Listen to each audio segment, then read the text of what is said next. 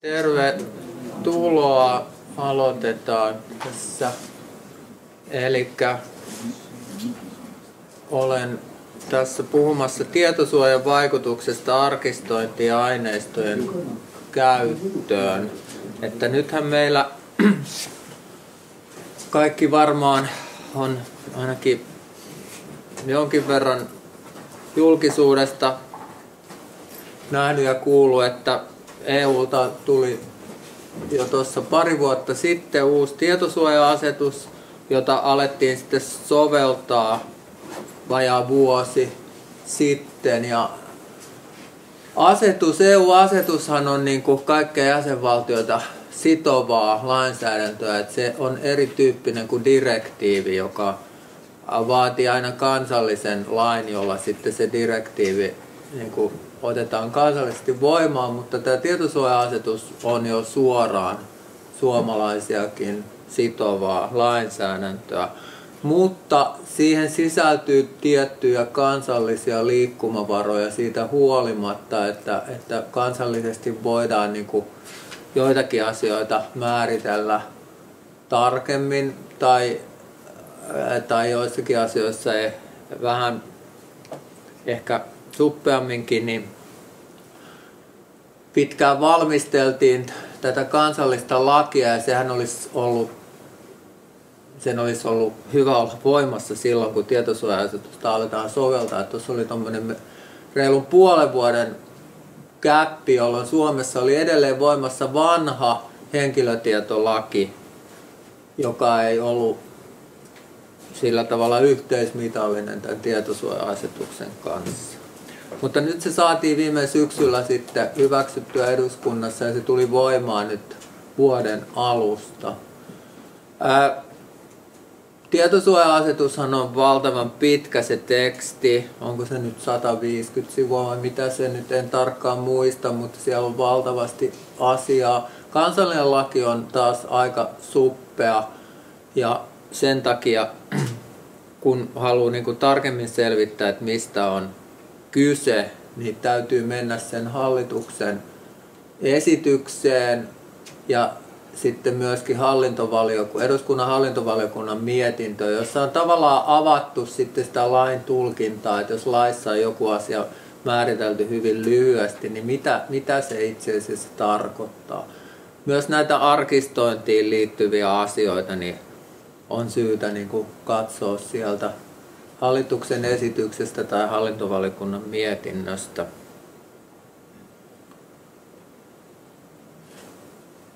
No mikä on tämä henkilötieto, jota nyt tietosuoja-asetus koskee? Tietosuoja-asetushan ei koske ää, sillä tavalla yksityishenkilöitä, se koskee viranomaisia, yhteisöjä, ää, tämmöisiä tota, yrityksiä, yhdistyksiä, mutta jos minulla on oma rekisteri henkilöistä, jota minä käytän vain kotona yksityisesti, niin semmoisia se ei koske.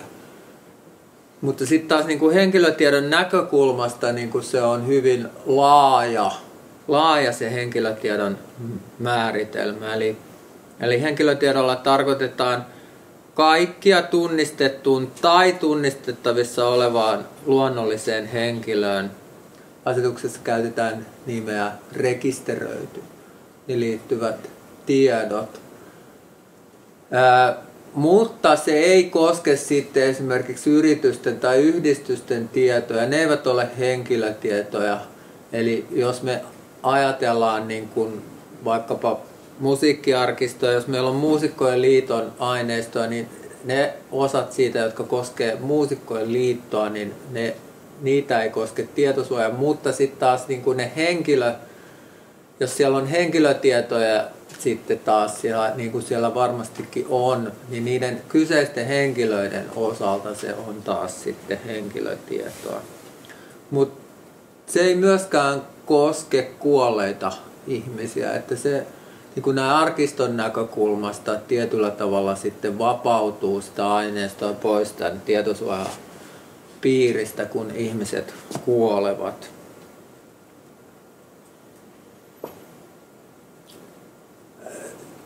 se koskee siis tietoja, joiden perusteella henkilö voidaan tunnistaa, että jos on täysin niin sanottuja anonymisoituja tietoja, niin niitä tietosuoja-asetus ei koske, mutta sitten täytyy niinku huomata, että muunkin kuin nimen perusteella voidaan tunnistaa. Esimerkiksi valokuvistahan niin kuin kasvoista helppo tunnistaa ihmisiä. Valokuva, jos näkyy ihmisten kasvot, niin se on heti tämän tietosuoja-asetuksen piirissä. Ää, myöskin tietoja yhdistämällä, jos on vaikka Kempeleeltä 57-vuotias ää, filosofian tohtori, joka tota, ää, on töissä siellä ja siellä, niin tota, varmasti on vain yksi henkilö, joka menee tähän määritelmään ja silloinkin ollaan heti niin kuin vaikka ihmisen nimeä ei ole tai henkilötunnusta, niin, niin se on tunnistettavissa oleva. Mutta sitten täytyy tässä myös muistaa, että, että niin kuin kohtuullisen todennäköisesti voidaan tunnistaa, että, että se ehkä sulkee jotakin sitten pois. Että jos on tota, vaikkapa valokuva, josta ihmisen kasvoista näkyy vain pieni osa, niin, niin sitä ei niin kuin kauhean helposti siitä ole tunnistettavissa, että ehkä se ei sitten ole henkilötiedosta kyse, mutta periaatteessa se henkilötiedon määritelmä on siis hyvin laaja, ja niin kuin ajatellen arkistoa, niin kaikki ihmisiä koskevat tiedot melkein menee, jollei niitä on vartavasten sitten anonymisoitu, että sieltä on todellakin poistettu kaikki suorat ja myöskin nämä epäsuorat tunnistetiedot, joita on just esimerkiksi ikä ja asuinpaikka, koulutus, tämmöiset, joita yhdistelemällä ehkä voitaisiin sitten se tunnistaa, varsinkin jos on niin liian tarkasti se asuinpaikka ilmastuu, vaikkapa kunnan tasolta, jos on pienestä kunnasta kyse. Eli silloin kun anonymisoidaan, niin täytyy aina miettiä näitä epäsuoria tunnisteita myös, että ne on määritelty riittävän laveasti, että on riittävän iso joukko ihmisiä, jotka menee siihen, siihen kategoriaan. No sitten kun tässä asetuksessa puhutaan henkilötietojen käsittelystä, niin se, sekin on hyvin laaja. Se ei ole vain sitä, että me juuri käsitellään sitä tietoa, vaan se on sen tiedon keräämistä, tallentamista, järjestämistä, jäsentämistä, säilyttämistä. Sitten tietysti tämä muokkaaminen, joka on niin kuin se, mihin ehkä käsitellä verbi niin kuin ensisijaisesti liitetään. Hakemista, käyttöä, luovuttamista, levittämistä, poistamista, tuhoamista, yhdistämistä. Eli se on tosi laaja se käsittelyn määritelmä ja kaikki se, mitä me niin kuin arkistoaineistolle esimerkiksi tehdään, niin menee tuohon. Kyllä, me kerätään aineistoa, me järjestellään, me luetteloidaan sitä, me tallennetaan sitä, me saatetaan sitä asiakkaiden käyttöön tutkijahuoneessa tai verkon välityksellä. Poistetaan ehkä jotain epäolennaista tai poistetaan meidän oma, omaa jäsenrekisteriä, kun, kun ihmiset on eronnut, niin meidän täytyy sitten, me ei saada, meillä ei ole perusteita säilyttää enää niitä henkilötietoja. Kaikkea tämmöistä, kaikki menee tämän asetuksen piiriin. Ja tämä on just se asia, sekä se laaja määritelmä, mikä on henkilötieto, että tämä käsittelyn määrittelyn laajuus, minkä takia niin tietosuoja-asetus vaikuttaa niin kuin nyt meidän elämään aika vahvasti niin kuin monessa eri asiassa. Ja nimenomaan niiden organisaatioiden elämään, joissa niin kuin ihmisistä on tietoja. Sitä sovelletaan sekä aina jos on kyse sähköisestä aineistosta, niin käytännössä silloin se menee tämän piiriin, koska sieltä aina voidaan, jos on tekstimuotoista varsinkin se aineisto, niin sieltähän voidaan sitten tehdä vapaatekstihakuja ja muita, niin, niin käsitellä sitä automaattisesti. Mutta niin kuin myöskin tämmöiseen ihan perinteiseen paperiaineistonkin, mikäli se muodostaa rekisterin osan tai sen on tarkoitus muodostaa rekisterin osa. Ja me, kun me ollaan laadittu tätä nyt suositusta henkilötietojen käsittelyyn arkistoissa, kirjastoissa ja museoissa, niin on lähdetty tämmöisestä laajasta määritelmästä liikkeelle, että, että tota, käytännössä niin kuin meidän kokoelmat muodostaa tämmöisen jäsennellyn tietojoukon. Me järjestellään sitä kuitenkin sitä aineistoa, me luetteloidaan sitä, valokuvista kirjataan ylös, ketkä tässä kuvassa esiintyy. Ja jos ei muuta, niin ne tiedot on haettavissa sen arkiston muodostajan, eli sen ihmisen, joka sen aineiston on niin kuin meille luovuttanut, niin sen perusteella. Että, että me ollaan lähdetty siitä, että ei ole hedelmällistä miettiä, että onko tämä tietty järjestelemätön pahvilaatikollinen valokuvia tietosuojan piirissä vai ei, vaan lähdetään siitä, että se on, koska jossain vaiheessa se kuitenkin varmaankin järjestellään, luetteloidaan ja silloin se joka tapauksessa siitä tulee sitten niin kuin tämmöinen järjestelty kokonaisuus. No nyt tietosuojalakihan kun tuli ja tietosuoja-asetus, niin ensimmäinen ajatus on, oli tietysti se, että voidaanko nyt, meillä on arkistot täynnä henkilötietoja, miten me voidaan toimia nyt, pitääkö meidän niin kuin jokaiselta ihmiseltä pyytää lupa siihen, että, että meillä on nyt kirjekokoelma, jossa on ihmisten nimiä. Olisi aivan mahdotonta pyytää suostumusta jokaiselta henkilöltä, joiden tietoja joiden nimi esimerkiksi jossakin meidän aineistossa esiin. Onneksi tota, sekä asetukseen että tietosuojalakiin sisältyy niin kuin, ää, poikkeuksia. Ne antavat käsittelyperusteen yleisen edun mukaiselle arkistoinnille. Että tota, jotta henkilötietoja sisältäviä aineistoja saisi käsitellä, niin siinä täytyy aina olla käsittelyperuste.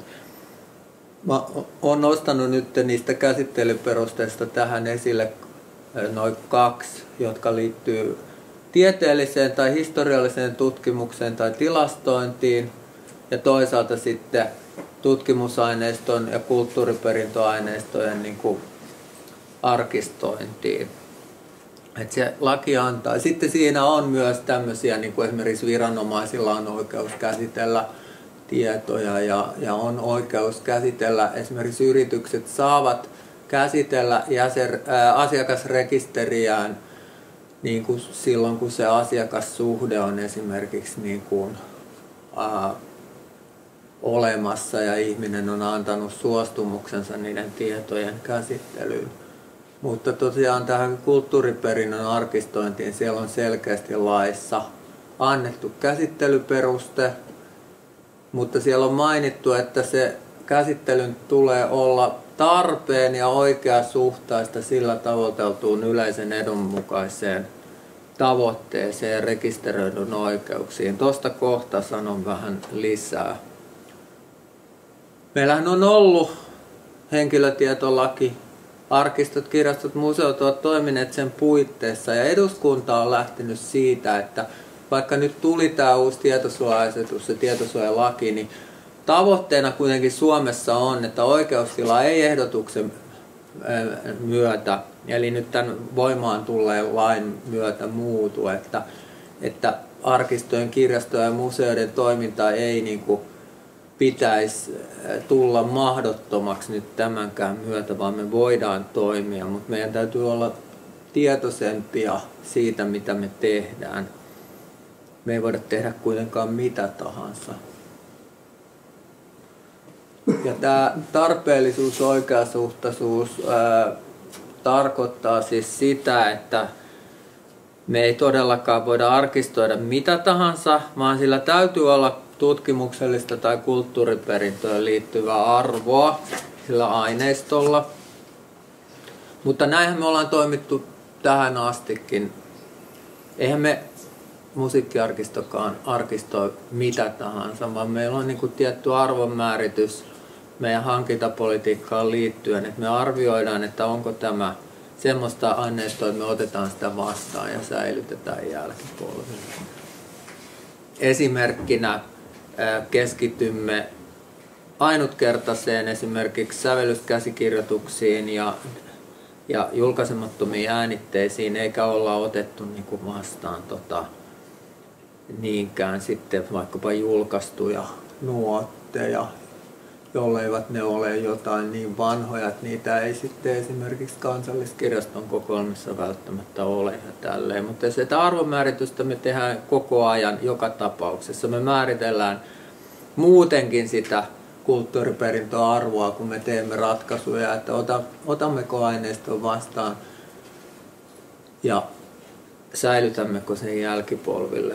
Ja oikeasuhtaisuus on sitten taas sitä, että me pohditaan sitten sitä merkitystä suhteessa ihmisten oikeuksiin ja siihen mahdolliseen riskiin tai haittaan, mitä siitä aiheutuu. Ja tähän vaikuttaa esimerkiksi se, että, että onko se vaikka meidän omassa tutkijahuoneessa käytettävissä vai läväytetäänkö me ne asiat nettiin kaiken kansan saataville. Tämä on riskimielessä niin kuin ihan erilainen ja tämmöistä pohdintaa meidän täytyy jatkossa tehdä sitten. Niin kuin on tähän mennessäkin tuon vanhankin lain, henkilötietolain pohjalta on täytynyt sitä tehdä.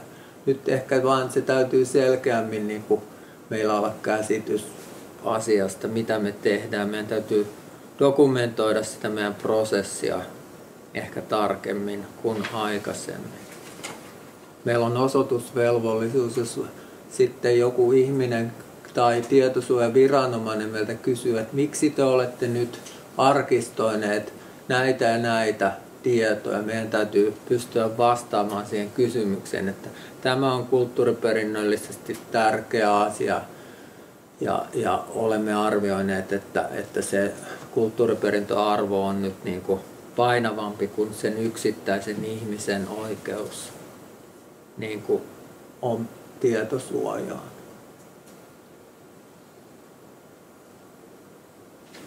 No sitten vanhassa laissa puhuttiin arkaluonteisista tiedoista, joka on ihan hyvä termi. Nyt tietosuoja-asetuksessa käytetään vähän kommervenkkisempää niin kuin määritelmää.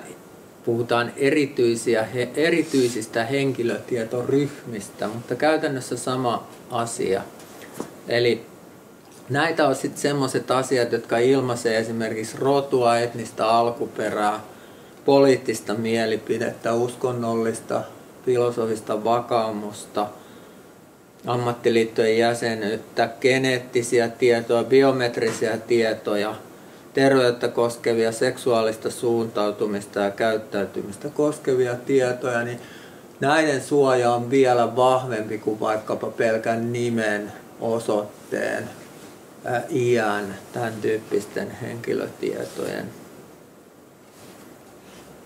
Mutta niitäkin voidaan arkistoida. Se on edelleen mahdollista.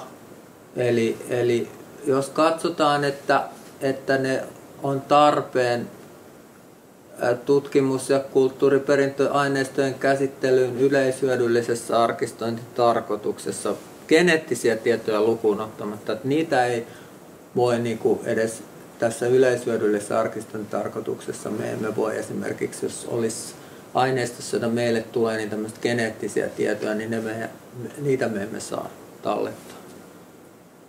Ää, tuossa on tuo kohta kaksi, ei koske musiikkiarkistoa, mutta esimerkiksi kansallisarkistolla on tiettyjä lakisääteisiä tehtäviä laissa kansallisarkistossa määriteltyä, samoin kansalliskirjastolla, että, että tota, silloin se, niitä koskeva erillislaki antaa niille jo tiettyjä oikeuksia sitten käsitellä näitä henkilötietoja ja myös näitä arkaluonteisia tietoja. Mutta se on vähän hämäävää, kun tuossa puhutaan yleisen edun mukaisesta arkistoinnista ja sitten näissä arkaluonteisissa puhutaan yleishyödyllisestä arkistoinnista. Se on kapeampi se yleishyödyllinen arkistointitarkoitus, mutta onneksi esimerkiksi meitä se kyllä koskee, koska meidän, meillä on sääntömääräinen tehtävä kulttuuriperintöaineiston tallentaminen. Musiikkiarkiston kannatusyhdistyksen säännöissä on, on mainittu, että me olemme nimenomaan organisaatio, joka tallentaa musiikkiperinteeseen liittyviä aineistoja. Ja meidän ää, toimintasuunnitelma on nykyisin sitten, aina kun se on hyväksytty, niin se on verkossa saatavilla. Eli, eli me, meillä on tota, tämmöinen julkisesti saatavilla oleva suunnitelma siitä, miten me toimitaan. Nämä on semmoisia asioita, jotka tota, jolla voidaan tätä yleishyödyllisyyttä niin kuin perustella. Saa muuten kysyä. Mitä esimerkiksi tämmöinen, että teet, keräät materiaalia, sanotaan niin romaanin musiikista, siinähän se tulee heti tämä, tämä, tämä etninen alkuperä saman tien. Kyllä. Mitä, mitä, mitä semmoiset tässä menettelyä? No tässä on nyt just itse asiassa, silloin kun on näitä tota, arkaluonteisia tietoja, niin niitä pitää suojata tarkemmin. Laissa on määrit, lueteltu tietty lista asioita. Näitä kaikkia ei tarvi toteuttaa, mutta jotakin näistä. Eli tota, esimerkiksi tämmöinen logi, logivelvollisuus, meidän täytyy ylläpitää tietoa siitä, että kuka niitä on käsitellyt ja mitä niille on tehty. Niin voidaan sitten tarvittaessa osoittaa se, että ja, ja myöskin tähän liittyy se, että jos on isompi organisaatio, niin kuka tahansa ei pääse niihin arkaluonteisiin. Se kesäharjoittelija ei pääse heti käpistelemään niitä, vaan täytyy olla koulutettu ihminen, joka tietää, mitä niille voi tehdä. Mm, se liittyy tuohon toiseen, eli, eli kun henkilötietoa henkilökuntaa koulutetaan sitten, että ne osaa niin kuin, sitten tarvittaessa. Ne ei anna niitä kenelle tahansa, vaan niin kuin, pitää olla perusteltu käyttö, tarkoitus, tutkimus, jossa todella tarvitaan. Sitten joku tekee nimenomaan romanimusiikista tutkimusta, niin silloin hänellä on niin kuin perusteltu. Niitä pitää suojata paremmin. Ää, joskus ehkä niitä joudutaan pseudonymisoimaan, että – että jos vaikka niin kuin haastateltavan nimet vaihdetaan, mutta se haastattelun sisältö pysyy samana, semmoista ehkä joskus sillä voidaan niin kuin suojata. Semmoista ollaan niin kuin meidän joissakin tutkimusaineistossa tehty, kun meillä on muutamia haastatteluaineistoja avattu tuolla avoin data palvelussa, niin siellä on just tehty tämmöinen pseudonymisointi, että siellä on sitten henkilö A kertoo henkilöstä B ja tämän tyyppistä sitten. Tota, tai oikeastaan anonymisoinnista puhutaan silloin. Pseudonymisointi on sitä, että on olemassa joku avain, jolla se voidaan purkaa. Purkaa sitten. Me tiedetään sitten, meillä asiakas, joka käyttää, niin siellä on henkilö A, mutta me tiedetään kuitenkin, kuka se A on. Sitten jos se anonymisoidaan ihan kunnolla, niin sitten tavallaan hukataan kokonaan se meillä ei ole enää niitä henkilötietoja ollenkaan missään tallessa. Ei ole mitään konstia palauttaa niitä. Voidaan salata, voidaan vetää mustalla tussilla niin kuin, tai peittää PDF-tiedostus. Tätäkin joudutaan tekemään arkaluonteisten tietojen osalta. Niin kun sitä käytetään. Että tota, mm, esimerkiksi viranomaisillahan saattaa olla, että, että joku asiakirja on vaikka pari viikkoa tai kuukauden tai pari kuukautta julkinen, joku hakenut rakennuslupaa, no se nyt ei ole niin arkaluonteinen, mutta sitten tietyn ajan kuluttua, niin sitten ne henkilötiedot on vedetään siitä yli ja sitten on enää vaan tavallaan tälle anonymisoituna ne. Joo, Jarmo. Niin, koskeeko toi kuolleita henkilöitä? Ei. Eli siis tietosuoja-asetus ei koske tosiaan kuolleita, kuolleita henkilöitä, ainoastaan elossa olevia. Ää, tosiaan sitten on näitä muita, muita tota, kans, erilaisia menetelmiä, joilla niin kuin sitä, näitä tämmöisiä arkaluonteisia tietoja voidaan niin kuin tarkemmin suojata ja osoittaa tietosuojaviranomaiselle, että me ollaan pidetty niistä hyvää huolta. Me ollaan annettu niitä samalla tavalla asiakkaille ja myös suojattu niitä meidän omalta henkilökunnalta niiltä, joilla ei ole niin kuin perustetta käsitellä niitä. Että siitähän on keissejä vaikka poliisilla, että siellä on poliisit käynyt jotain rikostietoja urkkimassa niin kuin joltain julkikselta, niin kuin, vaikka niille ne eivät liity mitenkään siihen keissiin. Ja semmoinenhan on tietysti ollut aikaisemmin laitonta ja se on nytkin laiton. Mutta sama koskee niin kuin meitä, että, että tosiaan meidän täytyy niin kuin miettiä, että kuka henkilö nyt tätä aineistoa on se, joka on pätevä käsittelemään, että tosiaan mitään harjoittelijoita ja muita ei päästetä niiden arkaluonteisten aineistojen, ei niin kuin tietoteknisesti eikä myöskään fyysisesti niin kuin niiden niin käsiksi. Eikö tavallaan sitten kun henkilö kuolee, niin kun, kun hän elää, niin ei saa kerätä tietoja, arkistoida tietoja, mutta sitten kun kuolee, niin sitten niitä tietoja ei ole. Joo, no mutta siis äh, sen takia tuossa on just se käsit... meillä on se käsittelyperuste. Jos, me, ää, äh, jos sillä on kulttuuriperinnöllistä arvoa, niin sit niitä saa mutta sitten niitä esimerkiksi elinaikana ei anneta käyttöön samalla tavalla. Siinä tehdään sitä suojausta. Ei ainakaan laiteta nettiin ja tämmöistä. Koskeeko tämä, tämä siis romaani, jolla on tietty semmoinen rasistinen tai mm. etninen tausta, koskeeko se karjalaisia esimerkiksi tai saamelaisia?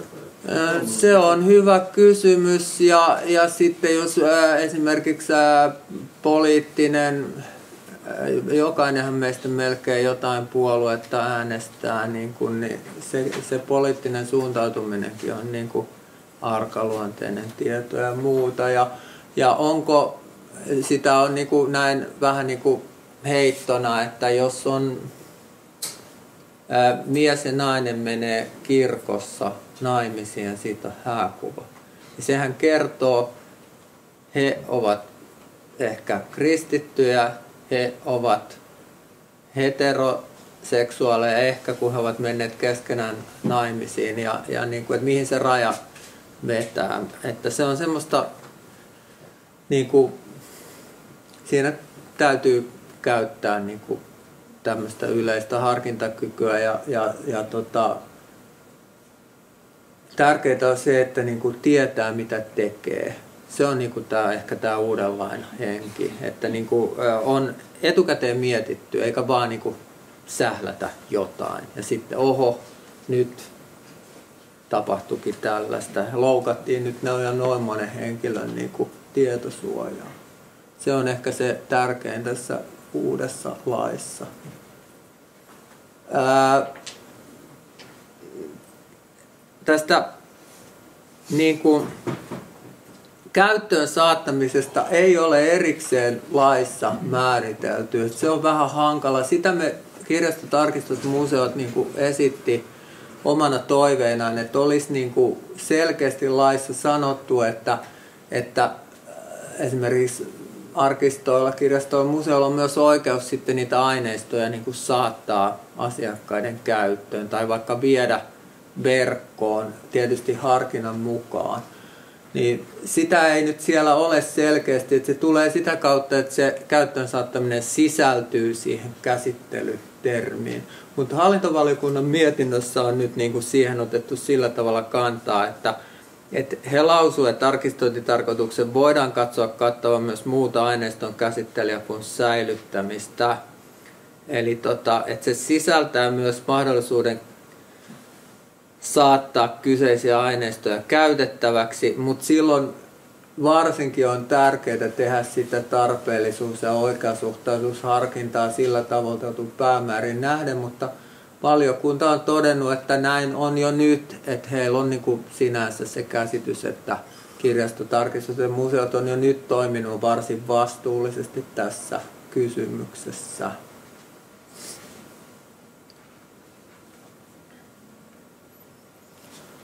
No iso asia on sitten se, että yleisedun mukainen arkistointi niin sisältää myös mahdollisuuden poiketa rekisteröidyn oikeuksiin. Et tietosuoja-asetuksessahan niin kuin, se antaa paljon niin kuin rekisteröidylle oikeuksia. Et jos joku yritys on, ää, yrityksen rekisterissä on minun tietoni, niin minulla on oikeus päästä niihin, nähdä niin kuin mitä tietoja heidän pitää, jos minä pyydän, että mitä tietoja teillä on minusta, niin heidän pitää se kertoa. Minulla on oikeus oikasta virheelliset tiedot, oikeus rajoittaa niiden käsittelyä. Ja sitten tota, siihen tota, on myös niin kuin oikeus siirtää tietoja järjestelmästä toiseen ja oikeus Mä nyt suoraan sanottuna tuosta vastustamisoikeudesta nyt muista ihan tarkasti mitä se on, mutta mulla on paljon oikeuksia niihin omiin tietoihin, että et, oikeus oikasta, oikeus nähdä mitä on ja, ja niin poispäin. Niin näihin on nyt yleisedun mukainen arkistointi antaa mahdollisuuden poiketa näistä, mutta sekin on, täytyy olla perusteltu syy. Mutta siis jos esimerkiksi joku haluaisi nyt poistaa omat tietonsa vaikkapa jostain kirjekokoelmasta, niin jos me todetaan, että se nyt rikkoo tämän kirjekokoelman niin kuin arvon, se ei ole enää kokonaisuus ja, ja näillä tiedoilla on niin kuin kulttuuriperintömerkitystä, niin me ei tarvitse siihen suostua. Ja, varsinkin sitten tämä oikeus tietojen oikaisemiseen, että ihmisethän voisivat niin kuin muuttaa ikään kuin historiallisia dokumentteja sillä perusteella. Samaten tämä oikeus tulla unohdetuksi, siitä on säädetty vielä erityisesti, että se niin kuin, ei sovelleta. Eli, eli tota, toimin nuoruudessani tota, tietyssä puolueessa ja nyt en enää tykkää siitä, että siitä on tietoja. Haluan nyt ikään kuin sensuroida historiaa ja poistaa tuolta kansallisarkistosta vaikka tiedot siitä. Niin sehän olisi sitten historian niin kuin sensurointia ja väärentämistä. Ja, ja mikäli on kulttuuriperintö mielessä tai tutkimuksen mielessä, niin kuin, ää, ei tarvitse suostua tämmöiseen historian niin kuin väärennysyrityksiin. Tämä on erittäin tärkeä. Muutenhan ihmiset vois muokata omaa historiaansa ihan niin kuin haluaisi.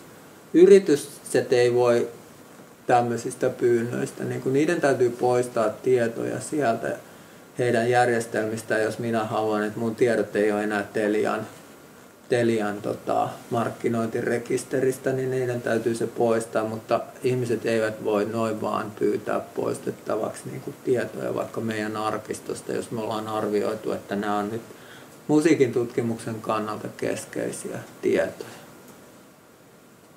Ää, no se, mitä mä oon tässä puhunut ja mitä nyt seuraavaksi vielä puhun tarkemmin sitten siitä aineistojen käytöstä, niin tämä perustuu nyt tämmöiseen – työryhmätyöhön, jonka puheenjohtajana olen noin vuoden verran ollut.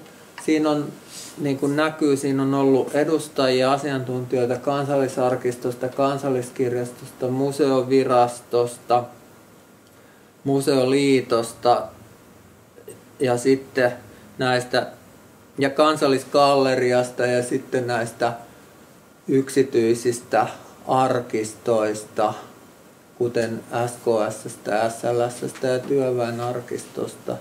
Me ollaan tehty tämmöistä dokumenttia, joka nyt tullaan kohta julkaisemaan, jonka nimi nyt ää, tällä hetkellä ja todennäköisesti julkaistaessakin on ää, tietosuoja KAM-sektorilla suositellut toimintatavat henkilötietoja sisältäviä aineistojen käsittelyyn kirjastossa, arkistoissa ja museoissa. Tietosuoja-asetuksessahan on tämmöinen mahdollisuus laatia käytännössäännöt, siitä, miten niin kuin kyseisessä organisaatiossa käsitellään henkilötietoja ja hyväksytään ne tietosuojaviranomaisella. Tässä vaiheessa ainakaan tämä ei ole sen tyyppinen dokumentti, että tämä vietäisi tietosuojaviranomaiselle hyväksyttäväksi, vaan tämä on enemmän tämmöinen niin kuin apuväline kirjastoille, museoille, arkistoille, että miten he voivat kehittää ja toteuttaa niin kuin tietosuojaa omassa toiminnassaan.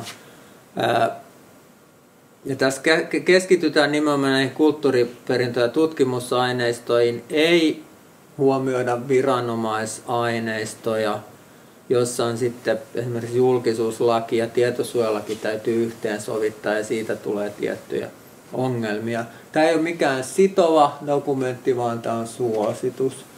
Ja tämä julkistetaan Kansallismuseon auditoriossa 29.5. seminaari. Sinne on vapaa pääsy ja se myös tullaan näillä näkymin striimaamaan verkossa, että sitä voi se seurata myös verkon välityksellä. Iso osa tätä dokumenttia on se, että siinä avataan vähän niin kuin selkokielelle tietosuoja-asetukseen myöskin tämän kansallisen tietosuojalain keskeisiä periaatteita ja lähtökohtia, koska se juridinen teksti on aina vähän kommervenkkistä, se saattaa olla aika lyhyttä. Perusteluja pitää tosiaan hakea ehkä sieltä hallituksen esityksestä, hallintovaliokunnan mietinnöstä. Se on aika työlästä selvittää ehkä yksityiselle, yksittäiselle organisaatiolle, että mistä tässä on kyse, jos on pieni vaikka pieni muutama hengen museo, niin tässä niin kuin avataan niitä keskeisiä periaatteita toivottavasti vähän selkeämmän muo, selkeämpään muotoon. Ja sitten siinä käsitellään niin kuin näitä henkilötietojen käsittelyyn liittyviä asioita siinä aineiston hankinnassa, että mitä pitäisi siinä huomioida tietosuojan kannalta, miten kun aineistoja järjestellään, luetteloidaan, kuvaillaan – esimerkiksi niin, että voidaan yksi esimerkki, että jos on joku yksi arkaluonteinen tieto näistä kuvailutiedoista, niin sitä ei ehkä kannata viedä sitten niihin julkisiin kuvailutietoihin, koska silloin se heti muuttuu arkaluonteiseksi ikään kuin se koko tietue jos se jätetään sieltä pois, niin sitten se voidaan viedä vaikkapa Finnaan vapaasti haettavaksi. Jos siellä, eli, eli tämmöistä niin kuin kannattaa miettiä. Ja aineistoja kannattaa järjestellä niin, että erotellaan semmoinen niin ei-arkaluonteinen arkaluonteinen toisistaan, jolloin me voidaan helpommin antaa asiakkaille se ei-arkaluonteinen aineisto käsiteltäväksi. Arkaluonteista täytyy sitten suojella paremmin, mutta jos ne on kaikki sikin sokin, niin sitten meidän täytyy huomioida sitä tietosuojaa aina tarkasti, kun asiakas haluaa sitä aineistoa, että, että on tiettyjä periaatteita, mutta niin kuin arkistojen käyttäjiä kiinnostaa tietysti sitten tämä käyttöön saattaminen, miten siihen tietosuoja vaikuttaa. Siitä mä nyt tässä vielä esityksen lopussa puhun vähän lisää. Että perusperiaate on se, että silloin kun käyttö tapahtuu niin kuin omassa tutkijasalissa, niin silloin yleensä niin kuin mahdollisuudet asettaa aineistoa käytettäväksi on laajimmillaan. Ei pelkästään tietosuojan näkökulmasta, vaan esimerkiksi tekijäoikeuslaki antaa niin kuin vaikkapa musiikkiarkistolle ää, julk- meidän omistaman aineiston, joka on julkaistua tai julkistettua aineistoa, niin me voidaan antaa sitä vaikkapa niitä kappaleita kuunneltavaksi meidän tutkin, musiikkia kuunneltavaksi meidän tutkijahuoneessa, mutta me ei voida viedä sitä vaikkapa nettiin. Eli, eli sitten on muitakin kuin tämä tietosuojalaki, varsinkin tekijänoikeuslaki, joka tietysti asettaa rajoituksia varsinkin tähän verkkolevitykseen. Ja toisaalta välillä aineistojen luovuttajatkin haluavat jotain käyttörajoituksia – ei ehkä musiikkiarkistus niinkään, mutta vaikkapa jossain poliittisessa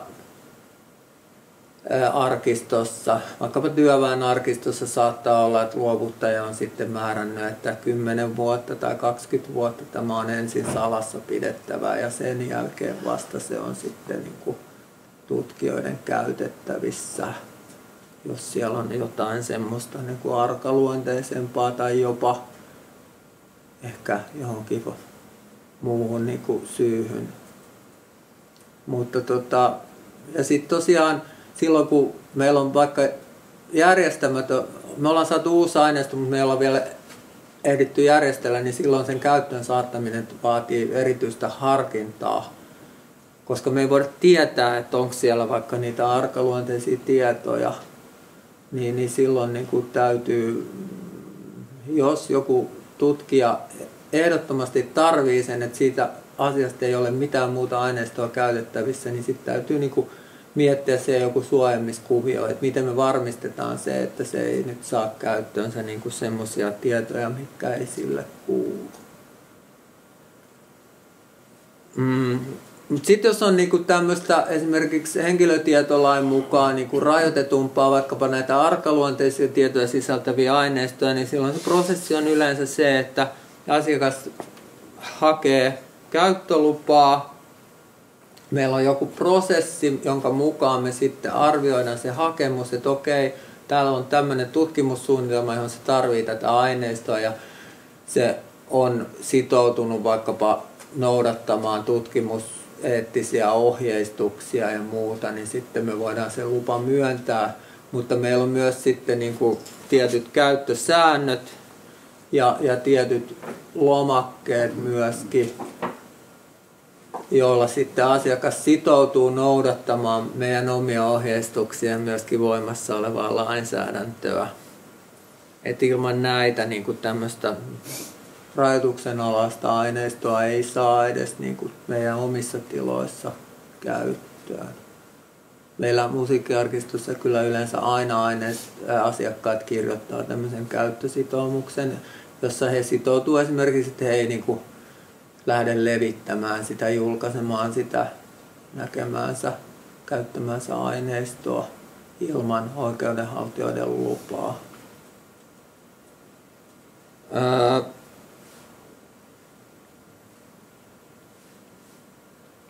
tietosuoja-asetukseen sisältyy tämmöinen niin sanottu kotitalouspoikkeama, että voidaan antaa myös ei tutkimuskäyttöön, ihan vaan ihmistä kiinnostaa vaikkapa, että mitä se is, isäukko nyt onkaan säveltänyt, niin se on mahdollista, jos se käyttö on yksinomaan henkilökohtaista tai kotitaloutta koskevaa, niin me voidaan antaa aineistoa ilman, että, että tarvii olla tämmöistä tutkimuksellista niin kuin esimerkiksi tutkimussuunnitelmaa, mutta silloin meidän täytyy kuitenkin varmistua esimerkiksi tietyllä tämmöisellä käyttötarkoituskaavakkeella ihminen kertoo, että mihin hän sitä tarvii, että me varmistutaan, että se on nimenomaan henkilökohtaista käyttöä. Joku saattaa niin kuin tehdä, tehdä sukututkimusta, joka ei ole tarkoituskaan sitä julkaista tai, tai, tai kerätä muuten niin kuin sukunsa itseensä liittyvää aineistoa jos se ei liity ammatilliseen tai kaupalliseen toimintaan, niin, niin tämmöistä voidaan jatkossakin. Me voidaan palvella niin kuin tavallisia ihmisiä jatkossakin tämän kotitalouspoikkeaman perusta. Mutta tämä ei pidä sisällään, että se ihminen sitten vaikka julkaisisi niitä jossain omassa blogissaan tai, tai jotenkin muuten. Että se on vaan niin kuin henkilökohtaiseen käyttöön. Oliko Matti sulla? Olisi sama, että joku Facebook Facebookiin ei ruveta tuntemaan. Joo, se ei ole silloin enää, se ei ole henkilökohtaista käyttöä, se on silloin sen levittämistä. Ja sitten tosiaan niin kuin mainitsin, nämä tekijäoikeudet on esimerkiksi musiikkiarkistoaineistojen osalta hyvin, hyvin tärkeä asia. Samaten jos me nykyisin pyritään niin, että kun aineistoja luovutetaan, niin luovuttaja antaisi mahdollisimman laajat oikeudet sen käyttöön. Mutta on joitakin aineistoja, joissa sitten niin kuin, että sitä saa, saa käyttää vain esimerkiksi tutkimuskäyttöön. Niin silloin näitä tietysti noudatetaan. Noudatetaan tota, tieteessä on nämä FAIR-periaatteet, jotka on yliopistoissa aika laajasti käytössä, niin ne, ne, niitä voidaan myös noudattaa niin kuin kulttuuriperinnön osalta. Siihen liittyy, niin kuin, että sen pitäisi olla niin kuin löydettävää, käytettävää, ää, yhteistoimivaa ja sitten myös tämmöinen uudelleenkäyttö. Mä en tota avaa tässä nyt ajan puutteen takia enempää, mutta että ne on määritelty tuolla gofair.org-sivustolla. Niitä yliopistoon, niin kuin, kun tämä avoin tiede, jossa avataan tutkimusaineistoja ja julkaisuja, niin niissä niin kuin pyritään nykyisin aika paljon näitä FAIR-periaatteita noudattaa.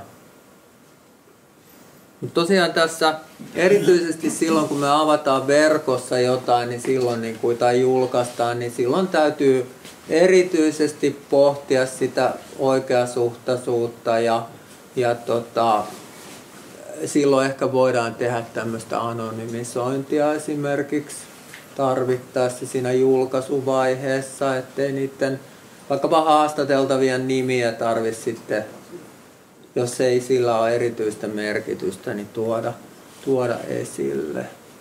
Se on aina tapauskohtaisia. Sitten on vielä semmoinen periaate, että jos otetaan julkiselta paikalta vaikka valokuvia, niin jos ihminen on mielenosoituksessa, ei ydinvoimaa kyltin kanssa, niin kyllähän niin kuin julkisella paikalla, niin silloinhan hän nimenomaan haluaa tuoda esille ihan julkisesti sen oman kantansa. Ja tämmöisten kuvien, valokuvien julkaiseminen, niin kuin yleensä katsotaan, että siihen on niin kuin paremmat perusteet kuin se, että jos olisi niin kuin valokuvaaja kuvannut jossain – dokumentoinut jossain niin kuin yksityisemmissä tilaisuuksissa tai kotona, niin, niin silloin se julkaisukynnys on paljon korkeampi. Ja yksi, mihin tässä meidän suosituksessa myös neuvotaan, että nämä journalistin ohjeet on aika hyvät niin kuin tähän myöskin tämän meidän museoiden, kirjastojen ja arkistojen niin kuin julkaisemiseen. Eli, eli siellä tota, lähdetään siitä, että, että nimenomaan suojellaan yksityishenkilöitä. Esimerkiksi kun on kyse alaikäisistä henkilöistä, jos silloin yhteiskunnallista merkitystä, niin silloin se voidaan helpommin julkaista. Ja tota, tosiaan arkaluonteisuutta mm, ehkä kaikki tiedotusvälineet ei noudata tätä yhtä tarkasti kuin jotkut toiset, mutta, mutta joka tapauksessa tämä on niin kuin yksi sellainen olemassa oleva ohjeistus, jota voidaan myös niin kuin käyttää avuksi, kun mietitään tätä oikeasuhtaisuutta ja, ja, ja sitä tarpeellisuutta. Eli, eli sen halusin vielä niin kuin korostaa, että, että aika pitkälti voimme toimia kuin ennenkin, koska me ollaan aina toimittu vastuullisesti tähän asti. Ei me olla niin kuin tungettu nettiin arkaluonteisia tietoja ja ei olla annettu niitä käyttöön ihan tosta vaan, vaan ollaan niin kuin aina pohdittu asioita. Mutta nyt se täytyy ehkä olla vielä niin kuin tiedostetumpaa ja paremmin dokumentoitua se, että miten toimitaan. Että tota, mutta paljon tämä laki antaa meille mahdollisuuksia toimia kuitenkin. Että ehkä tämä on ihan noin organisaation toiminnan kannalta hyvä asia, että tämmöinen tietosuojalaki on, että nämä asiat joutuu tosiaankin miettimään, että aikaisemmin on toimittu varmasti oikein ja vastuullisesti, mutta vähän niin kuin kuitenkin sille paistonvaraisesti välillä ja nyt se täytyy niin kuin olla paremmin dokumentoitua ja mietittyä se meidän toiminta. Siinä tuli juridiikka paljon ja kysymyksiä. Kiitos. Joo, onko lailla vaikutusta organisaatioiden, vaikkapa nyt musiikkiarkiston henkilötyömäärään? No kyllähän se aina siinä mielessä, että tosiaan nyt varsinkin tässä vaiheessa meidän täytyy niin kuin miettiä kertaalleen meidän prosessit läpi ja ehkä laatia, laatia tota ohjeistusta ja en tiedä tarviiko, meillä on asiantunteva henkilökunta jo nyt, jotka osaa toimia vastuullisesti, mutta ainakin jos uusia henkilöitä tulee, niin niiden opastamiseen joudutaan niin kuin ehkä kiinnittää enemmän huomiota. Että kyllä sillä varsinkin näin alkuvaiheessa, kun saadaan niin kuin prosessit niin kuin luotua niin, että ne varmasti toteuttaa tätä, niin on, on merkitystä, mutta en, en usko, että pitkällä tähtäimellä kuitenkaan, niin kuin sanoin, niin, niin aika pitkälti voidaan niin kuin tavallaan toimia kuin tähänkin asti sitten, kun on niin kuin dokumentoitu se ja mietitty se toiminta, että, että me tarvittaessa voidaan aina osoittaa se, että mi, miksi me toimimme näin. Hannu. Tota, tämä ei liity niinkään tähän arkistoon, julkisen arkistoon, vaan yksityishenkilöihin. Mä äsken just luin, luin tota EU-sivuilta, että tämä puhelin, puhelin on arkisto, jota voi käyttää ja huolettaa niihin puhelinluetteloon. Mutta jos mulla on tota, ammatilliseen käyttöön, eli tutkijan käyttöön, on olemassa oma arkistoni, jossa on erilaisia henkilötietoja, niin mit, miten tämä si, siihen pitäisi tehdä joku arkistointisuunnitelma näköjään tota, EUn ohjeiden mukaan. Meillä kaikillahan on kaikenlaista kamaa kotona, niin mitä, kukaan ei sitten siitä tiedä, paitsi me itse. Mutta öö, miten siis, tähän pitäisi suhtautua? No siis mun mielestä niin kauan kuin se on niin kuin he, sun omassa käytössä yksityishenkilönä, niin, mutta sitten ei, ei se sitä muuta, mutta, mutta jos sulla on tarkoitus, niin kuin nykyään tutkimusrahoittajat haluavat, että aineistot niin kuin sitten arkistoidaan. Ja se on monesti alkaa olla rahoituksen edellytys, että aineistot täytyy johonkin pitää olla aineistohallintasuunnitelma, jonka mukaisesti ne tarkistoidaan niin, että muutkin voivat hyödyntää. Niin silloinhan se täytyy miettiä sitten jo ihan sieltä alusta lähtien, kun mietitään niin kuin vaikkapa haastattelukysymyksiä ja lomakkeita, niin se tietosuoja täytyy huomioida heti, heti sieltä lähtien, niin kuin, että, että se, sehän tässä niin kuin on, että se, se tietosuoja ei koske toiminnan vaan tiettyä, esimerkiksi sitä arkistointi vaihetta, vaan se koskee sitä koko prosessia. Ja, ja se tuo varmasti tutkijoille niin kuin tätä kautta paineita. Ja sitten tietysti se, että missä ne tiedot, onko ne sun omalla koneellasi vai onko ne jossain yliopiston palvelimella sitten kuitenkin jollakin tavalla, niin kuin, että onko niihin pääsy jotenkin yliopiston kautta. Omistatko sinä ne vai omistaako itse se yliopisto, joka maksaa vaikkapa sun tutkimuksen. Että jos se omistus on sillä yliopistolla, niin sinne muuttuu heti niin kuin sen yliopisto-organisaation ikään kuin henkilö ylläpitämiksi henkilötiedoiksi. Tämmöisiä kysymyksiä täytyy miettiä. Mutta kyllä mä sanoisin, että jos niin kuin on omalla läppärillä jotain ja, ja tota, niitä ei ole tarkoituskaan niin kuin viedä minnekään tutkimusarkiston tai muuta, niin se, silloin on kyse vielä henkilökohtaisesta käytöstä. Mutta en ole tietosuojajuristi, että en voi nyt vannoa, että tämä näin menee, mutta sanotaan, että ainakin kun se pääsääntö on kuitenkin se, että se ei koske luonnollisia henkilöitä, vaan, vaan ainoastaan niin kuin rekisterinpitäjänä niin kuin oikeushenkilöitä, eli yhdistyksiä, yrityksiä, tämän tyyppisiä. Maara. Niin, mä lisäisin tuohon, että tuolla tietoarkiston sivulla on tiedonhallintasuunnitelma, aika hyvä pohja. Eli sitten jos se aineisto, mikä sinulla menee tutkimuskäyttöön, niin silloin sitä kannattaa soveltaa siinä. Mutta tosiaan organisaatio saattaa omistaa sen aineiston. Yleensä sieltä myös ohjeistetaan sitten tässä.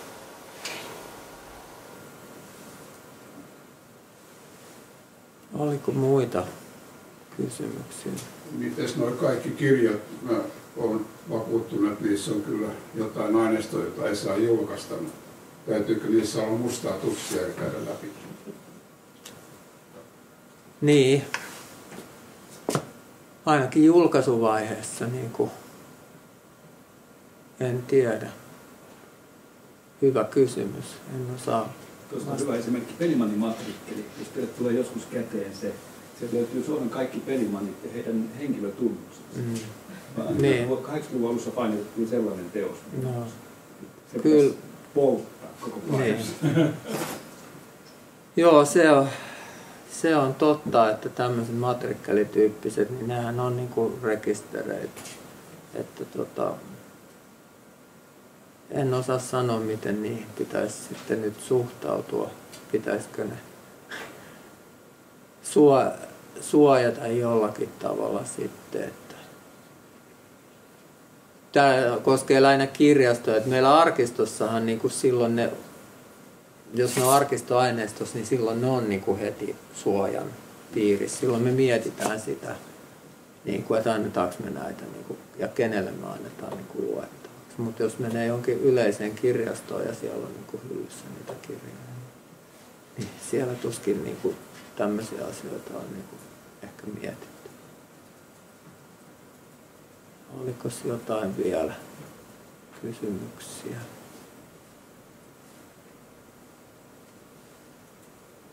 Okei, kiitoksia. Kiitos kärsivällisyydestä.